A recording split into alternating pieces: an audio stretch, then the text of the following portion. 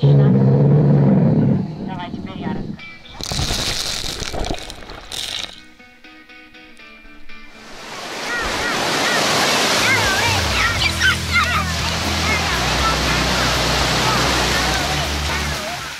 Ребята, всем привет! Сегодня у меня не совсем привычный формат видео. Дело в том, что в этом году я впервые побывала в Турции. В честь этого события взяла с собой камеру, чтобы отснять новое место и заодно запустить на своем кулинарном канале новую рубрику «Влог», чтобы ближе познакомиться со своим зрителем. Но оператор пока из меня не получился, поэтому видеоотчета по отелю и отдыхе не будет. Будет кое-что другое. Дело в том, что мой сын фанат динозавров, и на отдыхе мы побывали в парке динозавров вблизи города Аланья. По иронии судьбы, видеокадры из этого места самые удачные. Поэтому, если ваши дети любят динозавров, не спешите переключать видео. Зовите их к экрану и поехали!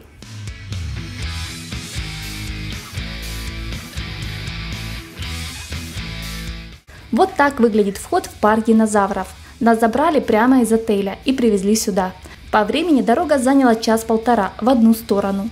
Стоимость экскурсии за двоих 60 долларов. Ребенку 6 лет.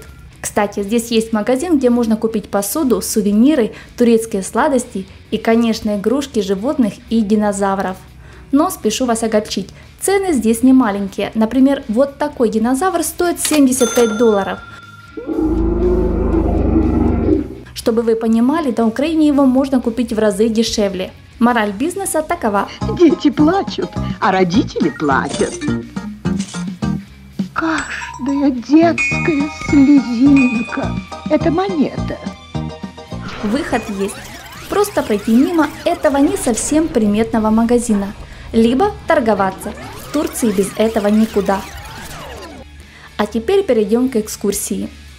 Первым нас встречает Карнотавр, хищник позднего мелового периода – Длина тела достигала 7 метров, высота до 3 метров, весил он до 2 тонн. Абсолютно все динозавры в этом парке издают звуки и делают определенные минимальные движения.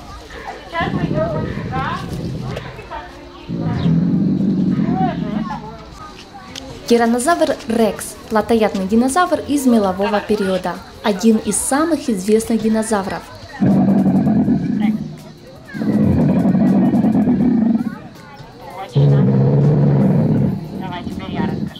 Огромнейший череп, усаженный десятками длинных зубов, мог насчитать полтора-два метра в длину и полностью уместить в себя человека. Вокруг Тирекса разбросаны муляжи останков динозавров, череп трицератопса, пахицелозавра и другие крупные и мелкие кости, как бы динозавров –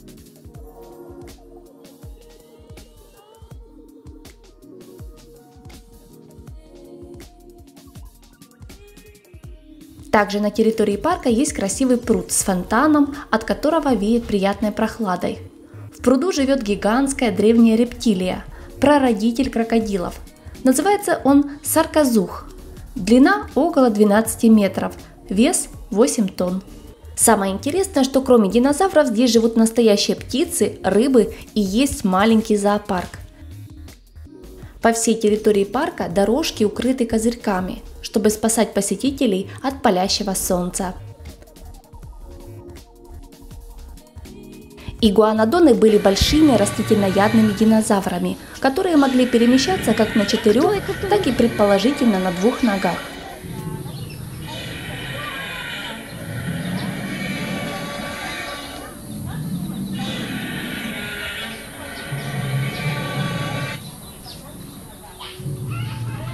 Паразауролов. Это было крупное животное длиной 10 метров. Его рот похожий на утиный клюв, и плоские зубы говорят о растительном питании. Паразауролофы жили стадами и могли общаться гудящими звуками, которые ящер издавал с помощью длинного гребня на голове.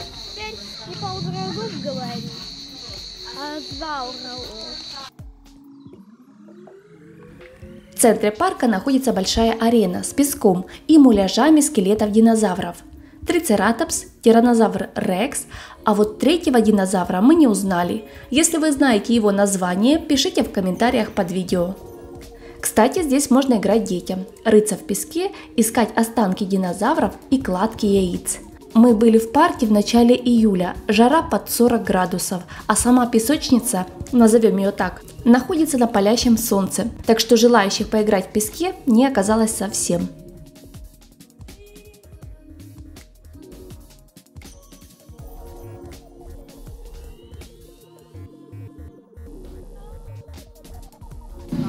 Аллозавр был хищником, передвигался на мощных задних лапах. Длина 8,5 метров, высота 3,5 метра, вес около полутора тонн. Как называются эти динозаврики, ты знаешь? Точно, аллозавр. Это они все разные, посмотрите внимательно. Есть знатоки, кто знает? Так, наш главный палеонтолог сегодня, представляю вам, он знает, что это аллозавр. Это у нас барионикс, аллозавр и карнотавр. Когда палеонтологи находят динозавриков, они им дают такие названия, которые хотя бы что-то да означают. Вот барионикс означает тяжелый коготь. У макета маленьких сделали Дилофазавр. Длина 7 тонн, вес 400 килограмм. Дилофазавр был двуногим хищником, быстрый и подвижный бегун. Охотился на травоядных динозавров. Размеры всех динозавров сделаны под настоящих. Они просто впечатляют. Посмотрите на этого брахиозавра. Брахиозавр является одним из самых узнаваемых из всех доисторических животных. Он выделяется своими большими размерами, высокими плечами, длинной шеей и высокой головой. У брахиозавра был очень маленький мозг, и поэтому ученые полагают, что он был не очень смышленым.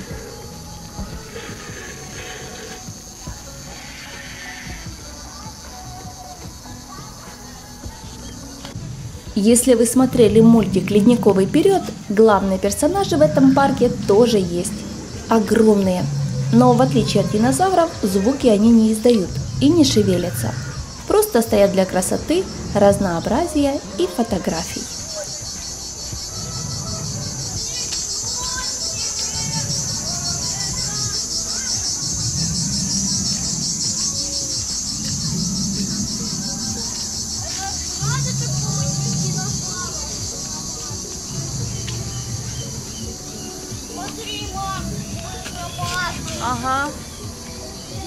Камарозавр. В течение многих лет это был самый длинный из известных динозавров, однако он является одним из самых легких динозавров по соотношению длины и веса. Хвост, вероятно, служил в качестве противовеса для шеи, но, возможно, носил и оборонительный характер. А здесь кто? Не знаю, посмотри.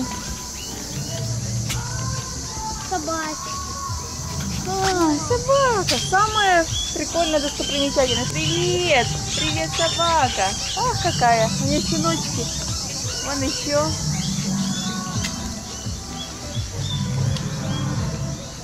А сюда иди.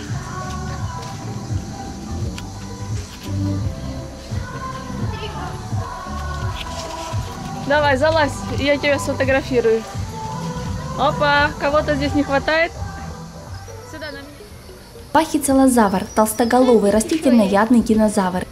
Как и другие его сородичи, пахицелозавр был двуногим животным с длиной тела около 4,5 метра и массой примерно в 450 килограмм.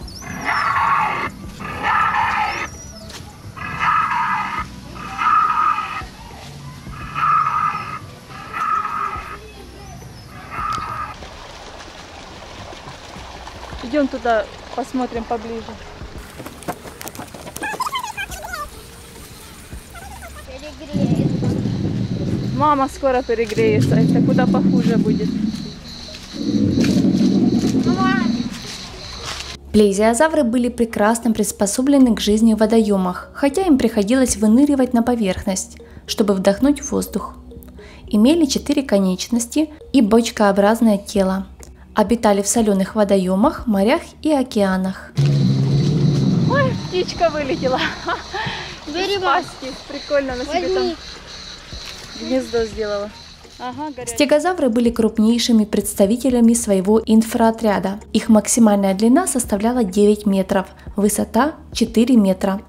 На спине стегозавра находилось 17 костяных пластин, которые не были выростами каких-либо костей внутреннего скелета, а располагались обособленно. Некоторые ученые полагают, что пластины были подвижны и могли менять угол наклона. А я его не снимала. Обкаканный весь птичками. Ой, смотри, дерево тоже шевелится. Он как бы дерево ломает.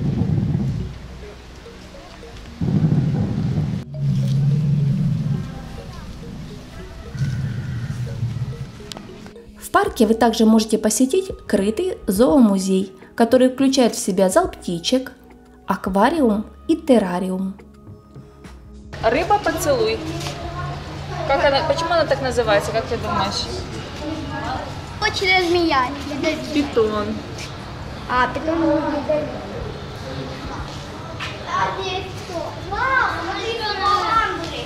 А, класс. Игуана. Игуана. Опять гремучка. Что это такое?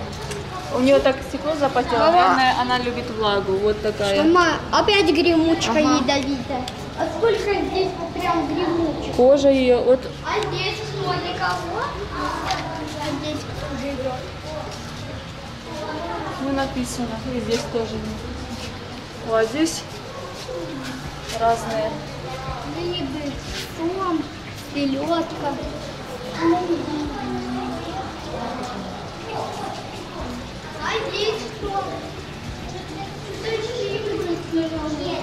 Слушай, эта рыба любит позировать. Смотри.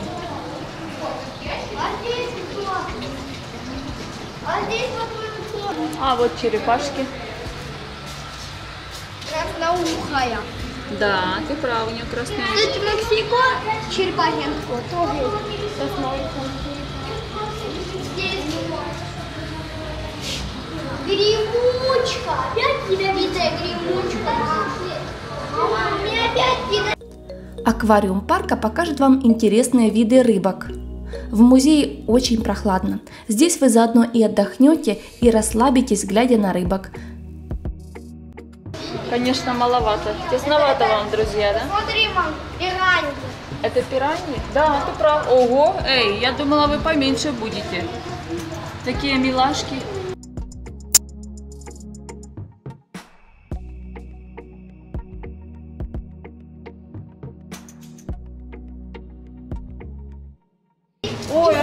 Рыба класс, смотри, какая она классная. И еще Слушай, а ты же говорил, что у нее нету хвоста. Посмотри, это самая хвостатая рыба. Давай. Они так классно плывут, как будто бы А здесь кто? Это же сом- парят в небе. А это точно В птичьем зале вы увидите несколько видов попугаев, канареек и других пернатых обитателей тропиков с ярким оперением.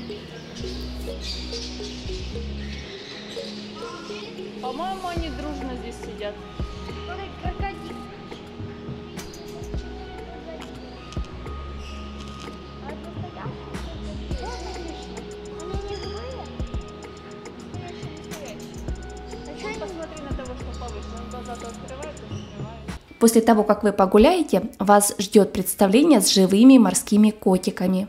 Они танцуют, показывают разные трюки и, конечно же, можно с ними сфотографироваться за определенную сумму.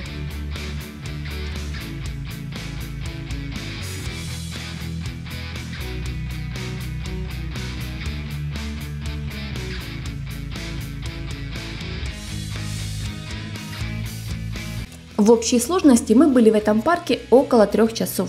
Поверьте, этого вполне достаточно для прогулки, фото и видео. На территории также есть кафе, чтобы перекусить. Экскурсия в парк динозавров Алании у нас входила в категорию мероприятий для детей. Хочу сказать, что и взрослые получат там массу удовольствия. Парк хорош также своим познавательным моментом.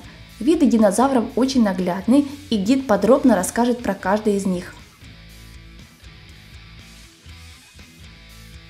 Вот такой небольшой обзор.